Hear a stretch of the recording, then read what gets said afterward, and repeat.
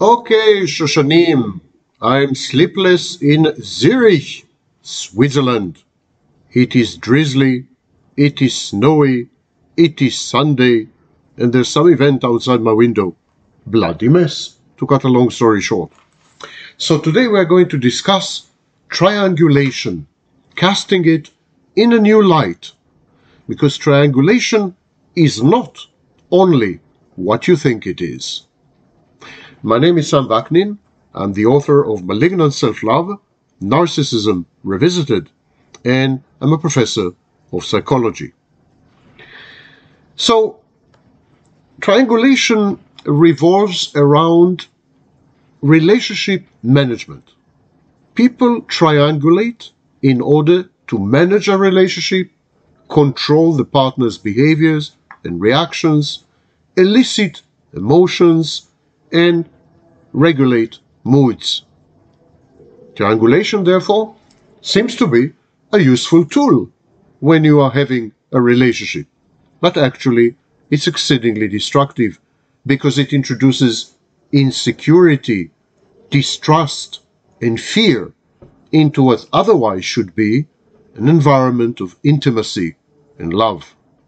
Triangulation is managing controlling a relationship dynamic by introducing a third party into the mix, emotionally or sexually.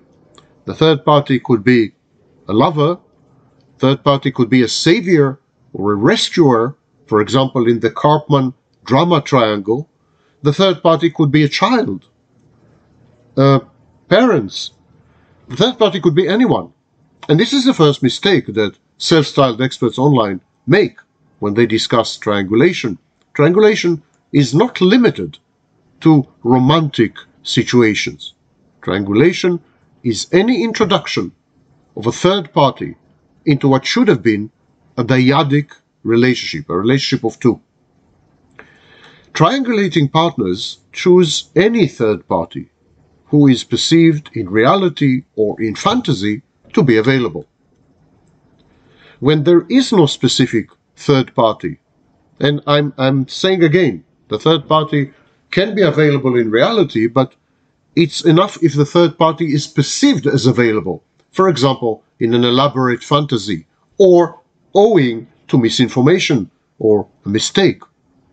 So triangulating partners choose any third party who is perceived as available, and when there's no specific party that is available to triangulate with, they resort to generalized triangulation statements. And this is where my account of triangulation differs or diverges from the accounts of triangulation online by YouTube, YouTubers and other wannabe experts. Because triangulation is not necessarily with a real third party.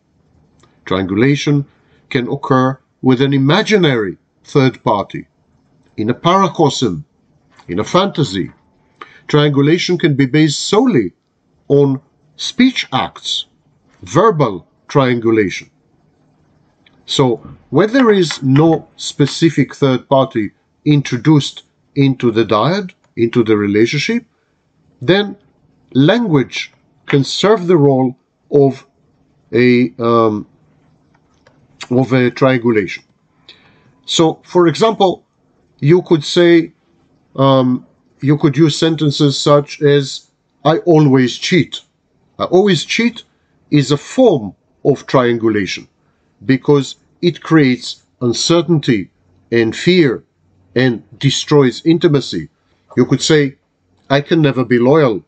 I can't resist my sex drive. Cheating is meaningless to me. I don't give a damn about my partner. I don't even remember my partner when I'm having sex with others. I always do as, a, as, a, as I please at the moment, and so on and so forth. This is an example of triangulating within a romantic setting using language and language only. So triangulation can be personal, involving a person, but can be impersonal, abstract, theoretical, hypothetical. Triangulation is used usually to get a rise out of someone to secure an emotional reaction, a desired, desired or desirable emotional reaction. And in this sense, triangulation is a form of manipulation.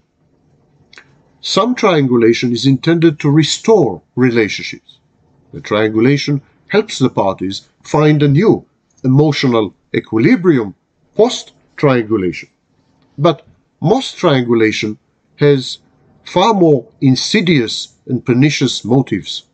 For example, to punish someone for some transgression, real or imagined or anticipated. For example, to sustain a fantasy or a shared fantasy, to dissolve a relationship. So triangulation is simply a tool.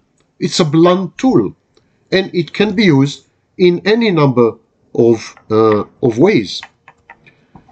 And when the person who is triangulating sets out to triangulate, he or she has in mind a specific goal, specific target.